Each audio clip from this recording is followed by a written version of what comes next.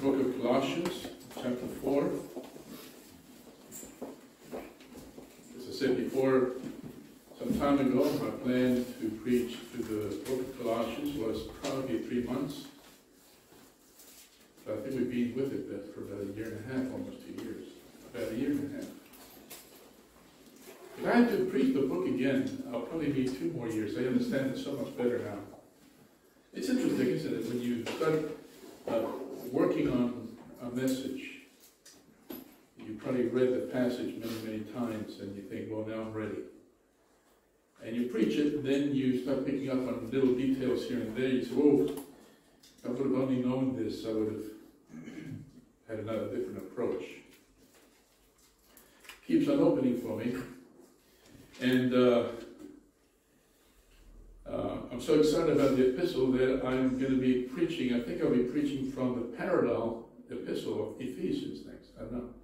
A lot of things similar to Colossians, but a few things that we that, uh, I think as a church we need to understand. We're looking at chapter 4, verses 5 through 6. Let's read it together.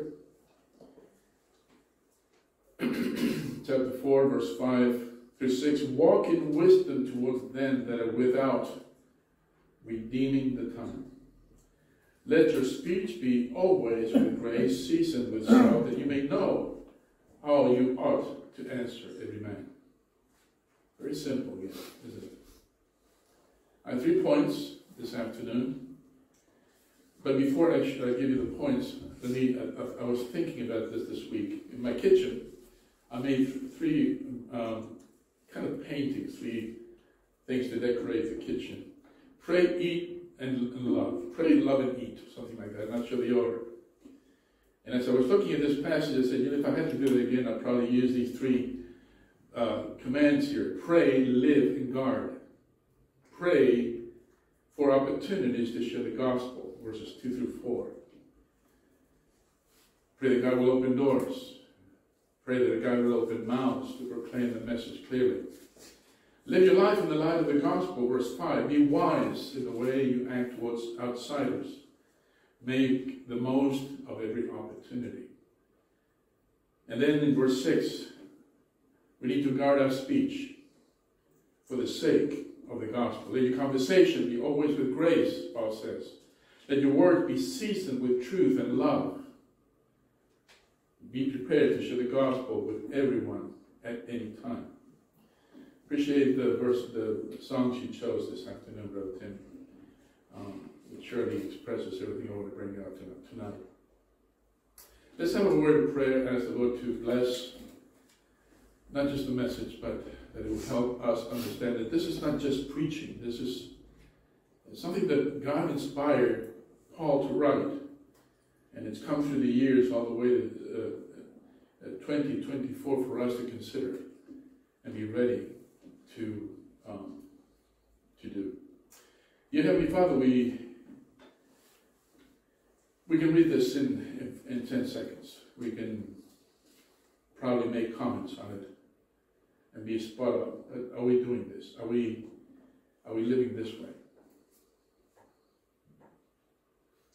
What you inspired Paul to write means to be living in a sacrificial way as Brother Tim uh, uh, shared before, to spend ourselves for the cause of the message of salvation. And Lord, I pray that this afternoon you will help me be able to preach this message in the same spirit that Paul wrote it, with urgency. There's a need here. Paul was ready, no matter what his condition was, whether, whether it was in prison, he would still reach out to those um, uh, cellmates, to the prisoners, to the to the soldiers, to whoever was around. He would look for the opportunity to reach out with the gospel. He would use the time wisely. So this afternoon, as we consider these passages that we just read, may we take it to heart. May we take this seriously. And as we walk into this building, consider that we're walking into the mission field. This here, Lord, is kind of a safe space. This is our home. This is a family. But when we go out, we're in enemy territory. And we're called to fight the good fight. I pray that this message will help us understand that a little bit more. May the Spirit help us, whether in the preaching or the listening to the preaching, may we all take it to heart. In Jesus' name, amen. I was reading an article this week, and it, it's one of those, and, and, it had a question that kind of makes you sit back and say, ouch. And he said this Why is the gospel impact of today's Christianity making such a minimal impact in our society? I don't know about you, but if that's true, we're in trouble. Why is the gospel impact of today's Christianity making such a minimal impact in today's society? And as I was thinking about it, I said, you know, there's not really just one answer to that. If you look at society, you would see that uh, there's apathy in the society. People just careless, they don't care. You talk to people about their condition of the soul, and they're just going, oh, thank you very much, I can't be bothered with the message. If you're living here in Spain and you speak to Spanish people, you will see that there's a lot of skepticism. They've heard so much rubbish that when you bring the true message, they uh, can't trust it. There's skepticism. And then you come to a, a lot of people have had a, a very difficult lives and the hearts have been hardened. And they tend to blame, if God does exist, why then does he allow this and that? And so been blame God for everything that man does. And they blame God for it. And then another reason I think is because we have so much information that we're not able to digest. And when we come with a message like the gospel, it's just, you know, much more information. We people can't be bothered with it. That's society around us. So with this question, I think it's not just a blame, uh, you know, to the church to be blamed. I think there's a lot of things going on out there that just makes people just want to reject the message. And then considering the church, well, there's a tremendous lack of compassion from many Christians. We see somebody hurting, somebody whatever it was, you know, we can't be bothered. We kind of see people like uh, in Mark chapter 8, I think it is, where a blind man was healed by the Lord Jesus Christ. He had to perform twice, that touch his eyes twice, in order for him to see clearly and far away. But the first time Jesus asked him, What do you see? He says, I see people as walking trees, just like silhouettes in shadow. He couldn't see them clearly. Then Jesus had to touch him again in order for him to see clear and far away. Sometimes we're like that first touch. We see people in shadow. We don't, we're just kind of careless. We don't have compassion for them. Or apathy in the pew. I have a book titled Apathy in the Pew. Sometimes we just come for you know the one hour, hour and a half service, and then let's get to the real thing, and we get busy. Apathy in the pew can also be the cause for Christians not to engage in personal soul winning.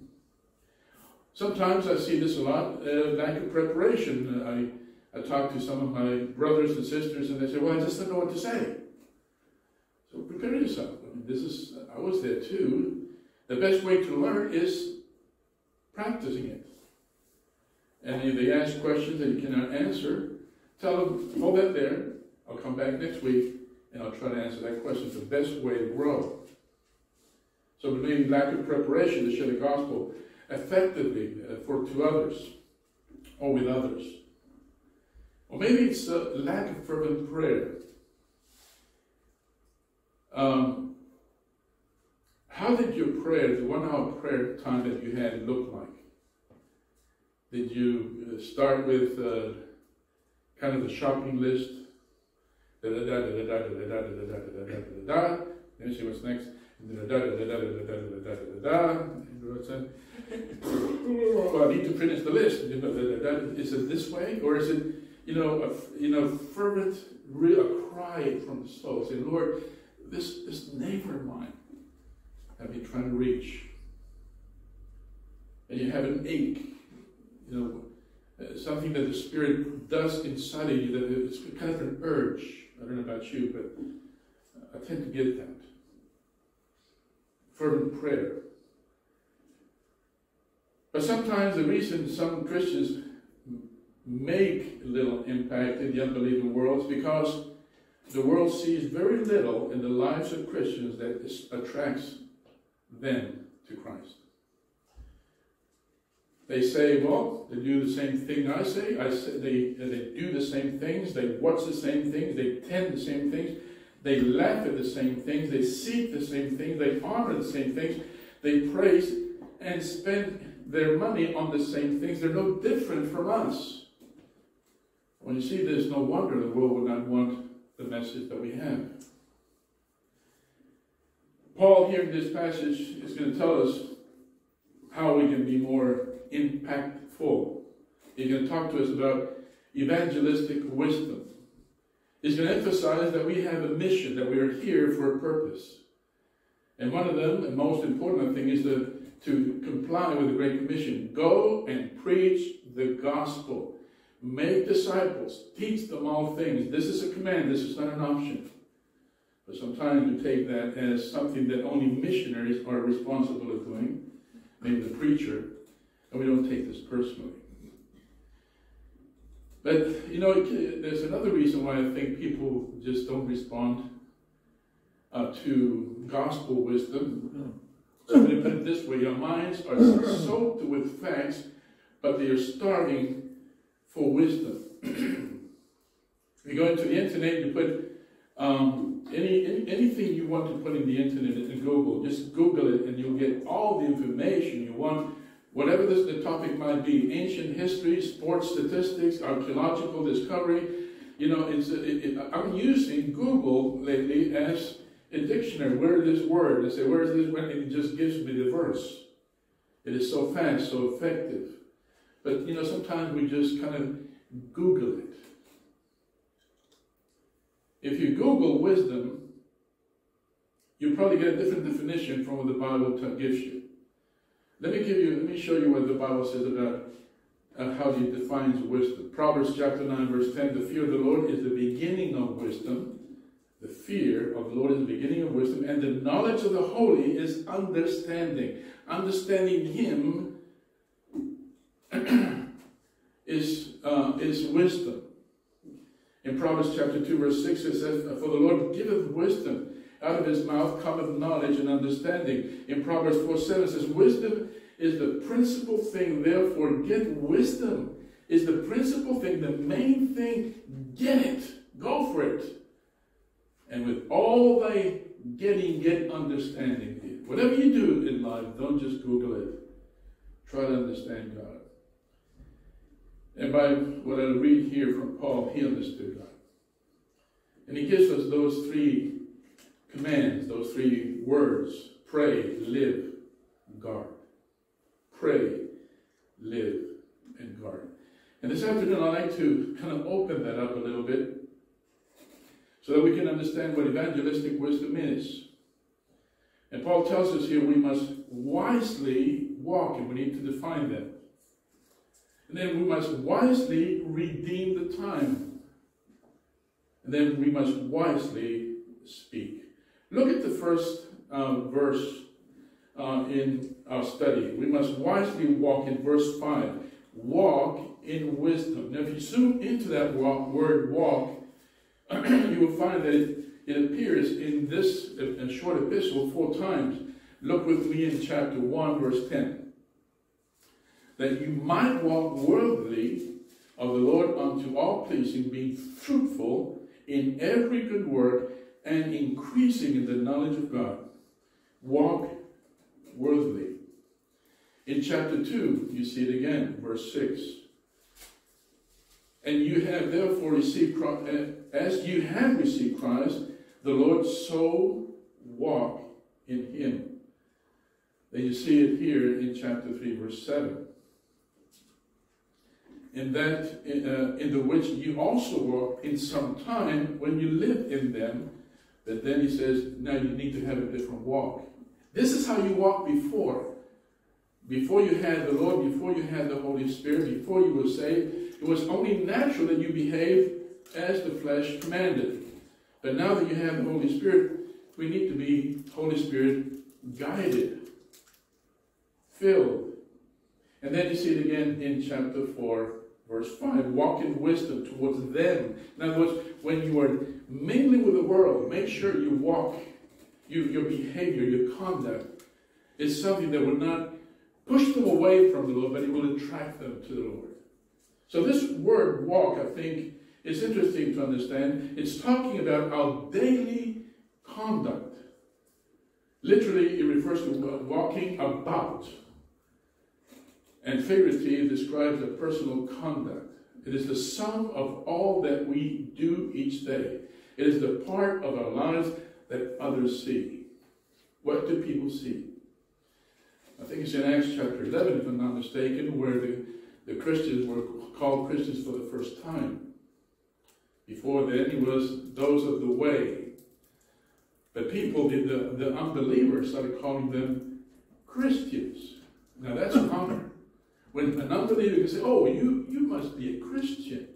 One of those who thinks like Christ, speaks like Christ, behaves like Christ, makes choices like Christ would do. You're one of those. When an unbeliever calls you Christian and not yourself, you can say you've got something going. And what Paul is saying here, let, let your life speak for itself. Now, of course, a good behavior is not enough to bring somebody to understand their need for the gospel. We need to not only live, we need to share the message. But when he talks about walking or walking about, it is talking about uh, you know, our personal conduct, the sum of all that we do each day. It is the part of our lives that others see. Uh, Brother Timothy, Timothy read from the book of uh, Philippians, I think it was, and we see another word there, conversation.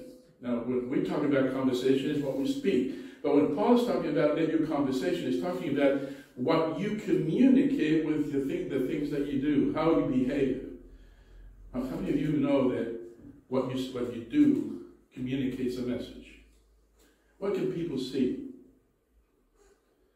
And our walk begins when we get out of bed, right? What we do then is we have to choose. We have to choose our clothing. We have to choose whether we're going to have a Bible time, a Bible time, a Bible study, and prayer, or lack of it. We're going to uh, we we will show the attitude at the breakfast table. How do you look when you get up in the morning and you sit for, for breakfast? My wife says, until I have my coffee two hours later, then I start being a person. Before that, she's like, yeah, she's not a person. She's more, it looks more like a zombie. She needs her a wake-up juice, as they call it in the States. The attitude. A lot of people get up grumpy. Did you know, did you, did you see that ever in somebody? They get up and they're, did I do something? Did you have a, a nightmare? What happened? Then the people that, you know, immediately as they get up, uh, there's a problem. Or maybe uh, our punctuality to school or work, our time on social media. Did you know that most of the people just get up and automatically reach out for the phone and go to bed leaving the phone? And between Getting up and going to bed is the phone all day or the computer. it, when we talk about our walk, it also speaks about uh, our honesty and dishonesty, our views, our viewing habits, our choices of language, our prayer before we eat lunch or lack of prayer, our obedience or disobedience to rules and laws, our respect or disobedience of others. The way you live your life is your walk. but why would Paul ask us to walk this way? Notice that what we have here is because we need the, the time. We don't know how long we have. We live most of the time like we had a thousand more years to go. Just the other day, I think I mentioned it this morning, uh, normally every year we need to do the church uh, accounts. and to take it over to an administrator. I go to Paco, and Paco's always there. And I say, Paco, here I am again, as last year and the year before. I tried to witness to him several times. I'm giving him tracts. He never, you know, is too busy, just smoking away. But this year, last uh, this year when I went to see Paco, the lady, the secretary, said he's not with us anymore. He's gone. I said, what do you mean? Yeah, Paco died last August, a heart attack. The thing is that a few months before that, in January, when I went to take the the, the finance of the paper, the, the receipts and everything, he looked kind of pale. He looked gray, his hair kind of changed from one year to the other. He wasn't looking too good. And I had this urge, like, I had this, this question. I really want to sit down and say, hey, you know, give me five good minutes of your attention. I didn't have that time. So later on, when I went back and Paco was not around, I felt burdened. I said, uh, did I use my time wisely? Did I just go over there and just dump the, the, the receipts and all the accounting and just say, hey, I'll be back in a month, make it sense, makes uh, some sense out of all this. Hopefully I can make some sense when I, I come before the church, when I have to present the numbers. I have to confess that I've been to his office uh, ready to just dump this and not really concerned about his soul. And that bothers me.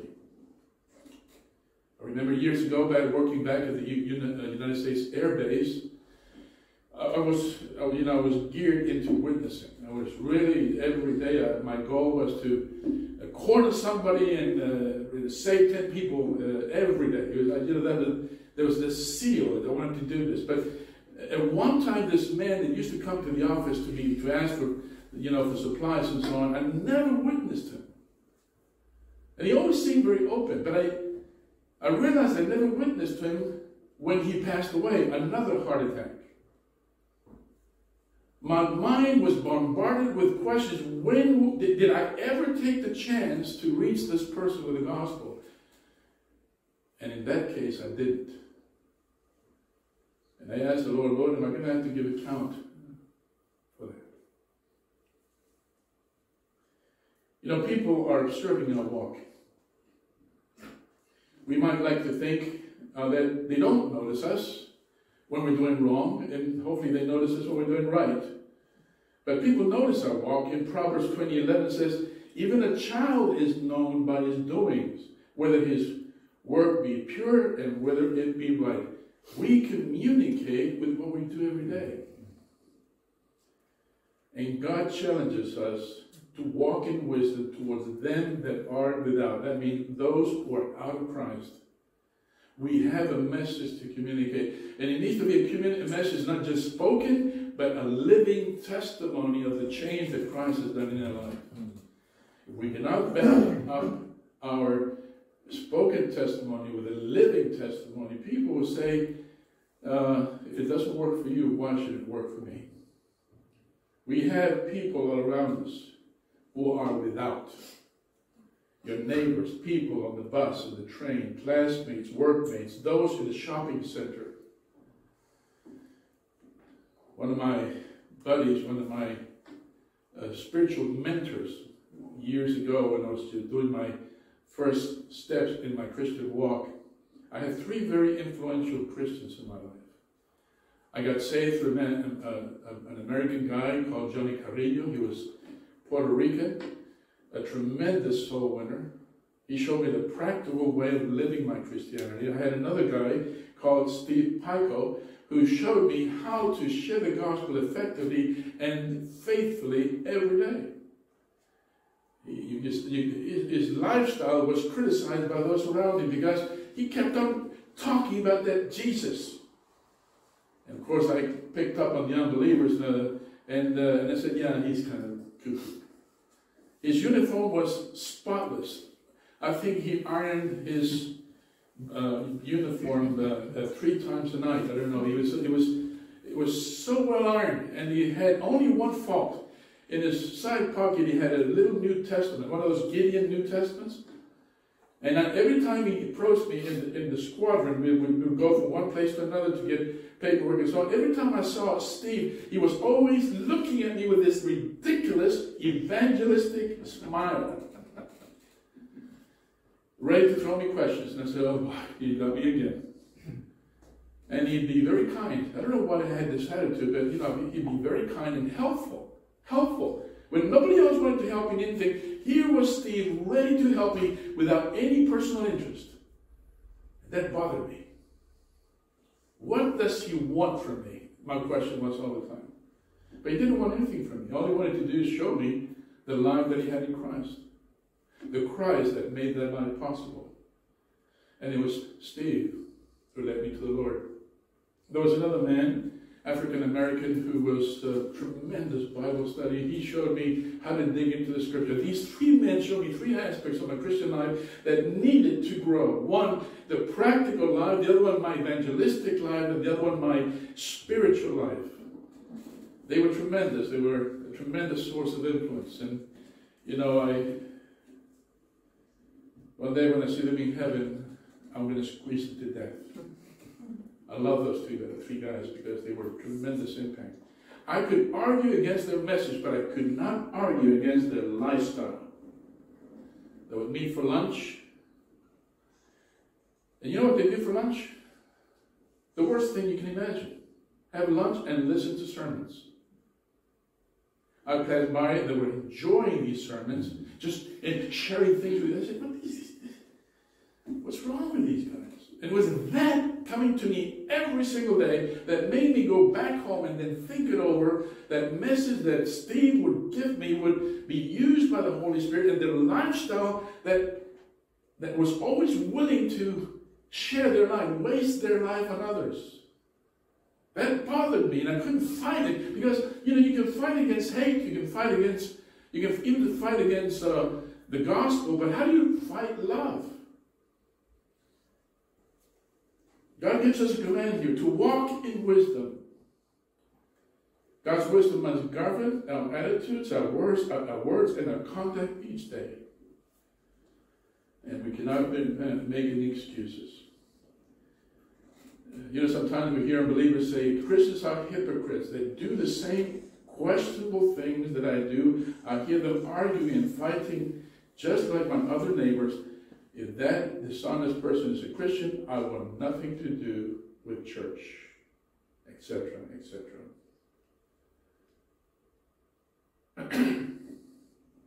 but you must admit, you, we all must admit that um, we have failed the Lord in many ways. Sometimes we use our tongue very lightly. Our attitudes just are not what they're supposed to. We just rage in anger sometimes. We, we don't even care the way we dress. We uh, we, uh, honesty is just not, it does not reach the level that God expects. Um, and, and a, a, friendly attitude just needs to be, needs to be um, improved. Our prayer life must also be sharpened. Our attendance to church must be considered also. Whatever the problem is, we need to pin it down and say, Lord, here it is. This is my problem. People are seeing this. This is what I communicate. This is my conversation. This is what I'm communicating to others. So Paul to this says, uh, we must walk wisely. Then we must wisely redeem the time. Look again in verse 5. Walk in wisdom towards them that are without, redeeming the time. Now you need it doesn't say how, it just says redeem the time. But it's good that we have Paul write more about it in Ephesians chapter 5, verse 8 through 17. He writes, uh, especially starting, yeah, verse 8 says, For we are sometimes darkness, for that for ye were sometimes darkness, but now you are light in the Lord. Walk as children of light. For the fruit, fruit of the Spirit is in all goodness and righteousness and truth, proving what is acceptable unto the Lord, and have no fellowship with the unfruitful works of darkness, but rather reprove them. For it is a shame even to speak of those things which are done of them in secret. But all things that are reproved are made manifest by the light, for what, whatsoever doth make manifest is light. Wherefore he said, Awake, Thou that sleepest and rise from the dead, and Christ shall give thee light. See then that you walk circumspectly. You know what that means? diligently, not as fools, but as wise. Here's the word redeeming the time. You say, why should we be looking at time and using it wisely? Because the days are evil. How many of you agree that the times are evil? The days are evil. You keep up with the news, you think, you know, there's so much corruption going on in every area of society that, you know, you think it's going to fall apart. We live in this world. And so we can be uh, dragged into that kind of lifestyle and waste it, or instead we can say, no, no, no, no, hold on a second. I'm here for to do something special. God has called me not just to be, be uh, come to be this, a son of His, but also be a worker, a servant of His. I am here to serve Him. And so He says, wherefore be ye, uh, be ye not unwise, but understanding what the will of the Lord is. Circumspectly comes from the word, I think two words, circum, around, circle, and spectly, I think it is pointing to uh, make an inspection. Inspect the way you live around, uh, uh, uh, uh you know, around the people. To work circumspectly means to live wisely, morally, and cautiously. A Christian life should be one of simplicity, soberness, faith, and praise. So why do we need to do this? Redeeming the time. Our time, folks, is limited. It only seems, when I was uh, seven years old, I wanted to be 21. How many of you felt that way? I was 14, I still hadn't grown up, and I wanted to be 18. When I was 18, I wanted to be 21. Now I'm 67, I want to be 7 again. it, it, it, it, was like smoke. It's just, and some of you have been speaking about this. John says, when did the week go? We all had seven days, 24 hours. And Tim said, wait till you're 96. Like my dad, he says that it really gets bad then. For us, weeks have become days. For the, Tim's dad, it becomes hours. Time just flies. This morning I had one of the ladies, one of the a, a secretary of the church say, Pastor, remember you told me you would be doing this, this, this, and that, this, this, and that. And I said, yeah, like I didn't have anything to do. I didn't say that to her, but I thought about it. I said, you know, this was over a month ago, and I really haven't been able to sit down and do what she, what I told her that I would be doing. And it's because there's so many things to do. We fall into a routine. That routine seems like it's, it starts on Monday, and then Sunday again, and then Monday again, and then Sunday again. It's, the whole week just flies away. It, it, time just flies. And unless we have a, uh, you know, we, uh, we understand that we need to use the time wisely, we'll probably to just let things continue that way.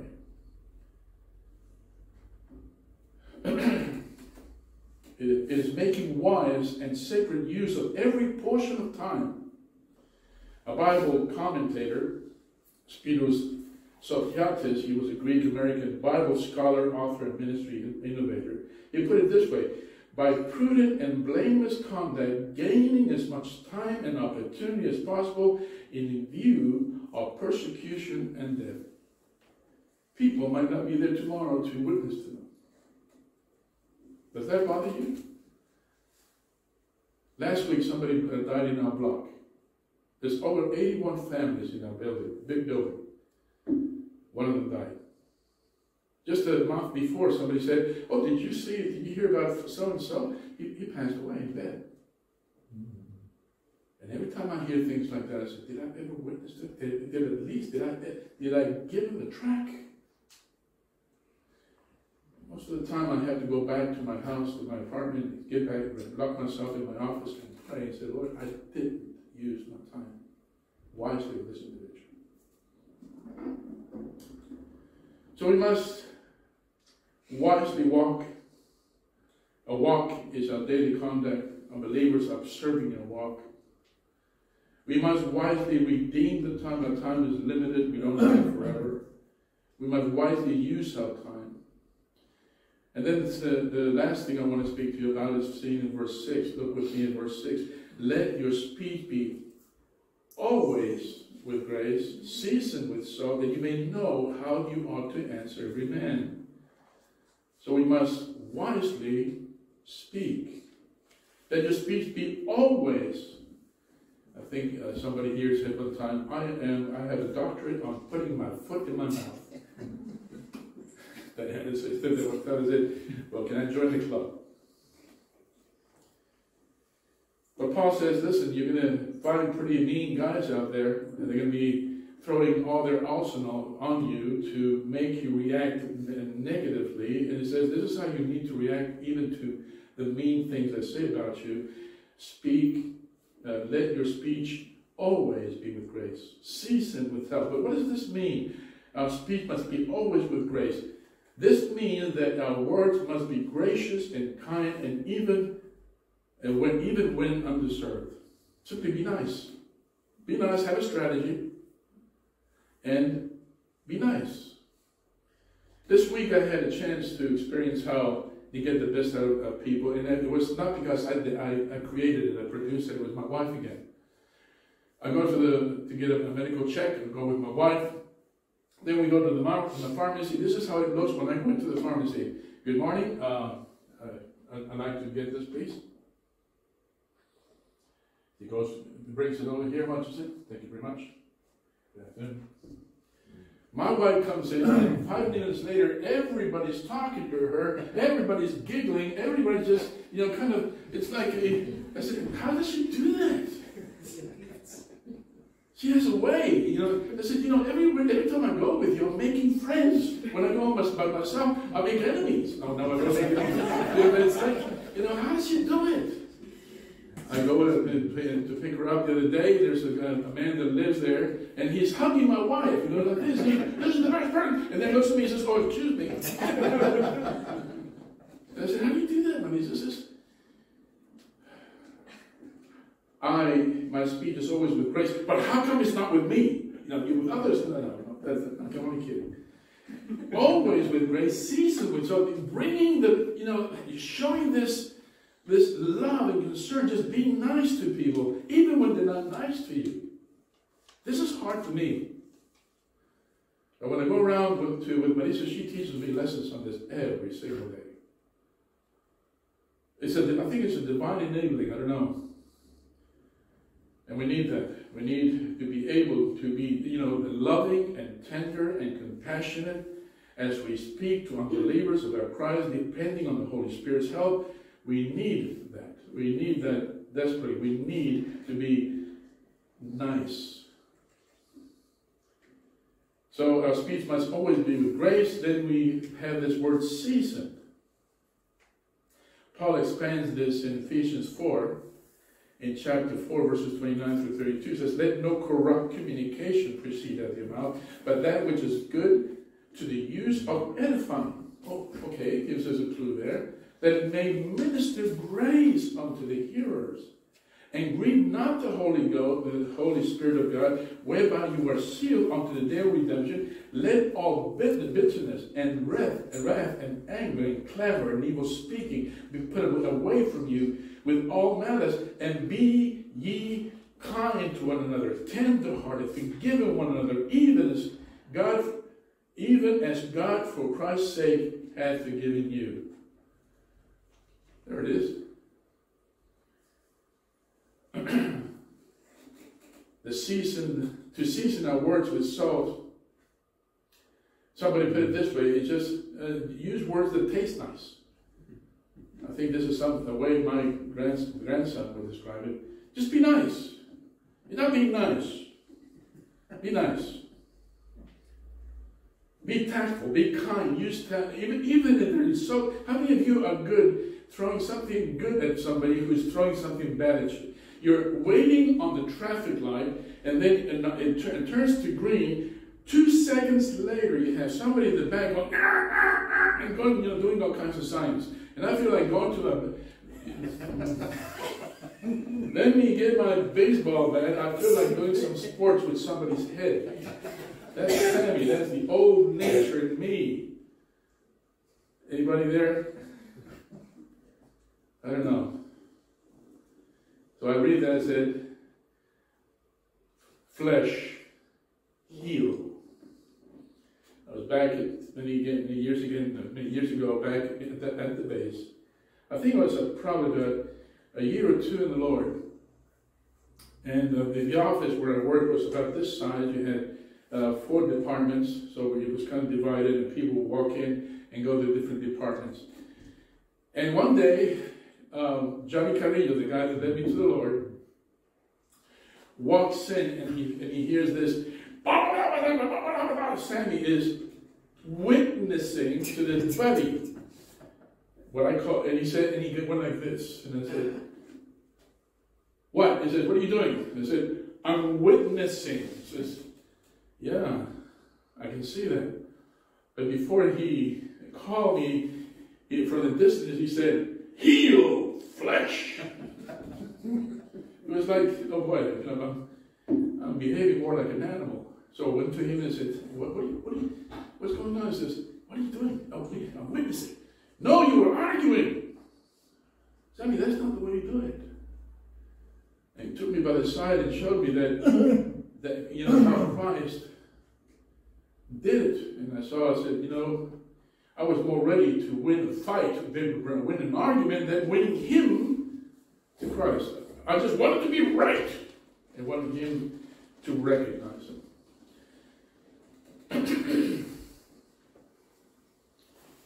Be nice. Heel the flesh and let the new nature, the spirit nature, the Holy Spirit's nature come out. That's what we need to show people. Be sure to give a, a good response. I think First Peter chapter 3, verse 15 and 16 gives us the order that we need to, um, how we need to be prepared. But sanctify the Lord in your hearts. What does that mean? Sanctify the Lord in your hearts. That, it, it all starts there. If that's not put in order, nothing else will work. Make sure that He is center stage in your own heart. That He is ruling. Give Him the place that belongs only to Him. And then He says, and be ready always to give an answer to every man that asketh you a reason of the hope, of the hope that is in you with meekness of fear, having a good conscience that whereas they speak evil of you as of evildoers, they may be ashamed that, that falsely accuse your good conversation, that your good behavior in Christ. Sanctify yourself. Be always ready to give an answer. Be reasonable when you give an answer. Make sure you make a good defense. But notice it says the attitude must be meekness and fear. You need to do it with respect. What I was doing that day with that buddy of mine in the workmate, it wasn't witnessing. Or should I say, I was witnessing, but I wasn't witnessing the gospel. I just wanted to have my own way. Need to also think that when you witness to people, everybody's unique, is, is different. You know, when Paul preached to the Jews, he would use a, a different approach than when he witnessed to the Gentiles. When he went to Athens, for example, he looked around to see the environment and he used the environment as an opening to bring in the message. He used the culture. You know, if you're witnessing to a Mormon, a Catholic, a Jehovah's Witness, no matter what it is, you need to understand where you have to approach them. I see the same thing with different cultures. It's not the same to preach to a German person than it is to a Latino. I mean, the message is the same, but you have a different approach. We need to be wise in the way we use our time. We need to also uh, be wise in the way we walk. And we need to be wise in the way we speak. Our speech must always be with grace. Our speech must always be seasoned. And our speech must always be perceptive, understanding what we have in front of us. I don't know about you, but this passage has touched my heart. Every, every passage of this book uh, has been just, you know, holding in, just gripping me and saying, Sammy, yeah, you've gone far, but not far enough. There's a lot of improvement needed in this man here. How many of you can say the same thing? We need to take this to heart. We need to make sure that we pray for opportunities to share the gospel, for open doors, open mouths, that we might share a clear message. We might pray also for boldness so that we can uh, take advantage of every situation. Pray, live your life in the light of the gospel. Be wise in the way you act towards outsiders. Be the most, make the most of every opportunity, and guard your speech. Somebody said one time then that what we say, uh, what we say is sometimes like, yeah, when we say something wrong and try to take it back, it's like throwing uh, a ton of leaflets uh, from an airplane that is scattered around and then try to pick up the, those leaflets again. It's impossible. It spreads out. We need to watch out.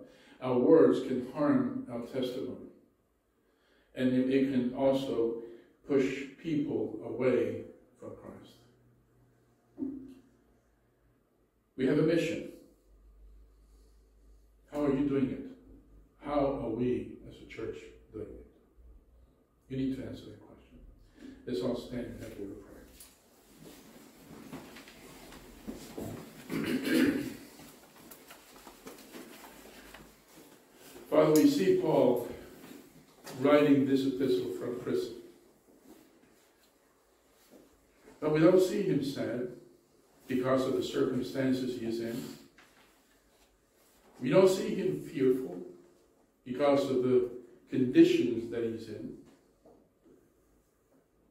In fact, he's praying, he's asking others to pray for him that the Lord might open more doors, not necessarily the prison doors, but the uh, doors of opportunity. And he did. He, we have Onesimus, we have others who came to Christ because of his testimony in prison.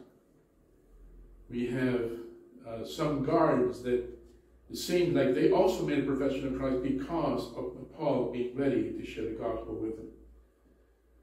His, him being in prison did not make him bitter, did not, did not make him aggressive. He did not feel like he was being treated unfairly. In fact, as Paul read today, uh, uh, Tim read he considered that a privilege because it meant an opportunity to reach people and it encouraged people outside to be more uh, ready to share the gospel. Many things are going on while he's in prison. And I pray, Lord, that we'll be able to, uh, heart, we'll be able to listen to that and, and, and, and be ready to do the same thing. Changes, Lord, changes. Let us not conform to this world and to this world's thinking. May our behavior be one that people can see truly that Christ liveth in us, so that when we share the gospel, they'll be more ready to listen. We pray for open doors, doors of opportunity. There are many people around us, Lord, that need to hear the message of salvation. We pray, Lord, that you will help us prepare ourselves better to give it a proper answer, a proper defense of what we believe. That the message that we share will be a hopeful one. Even though we have to talk about sin and repentance, that we should we say it in a way that will make people hopeful. That will make people look towards Christ for the solution. We pray, Lord, that you'll help us not scare away from opportunities, but that we walk into the opportunities with, with boldness. Change us, Father, so that we can be used by you to change the world. In Jesus' name we pray. Amen. Amen.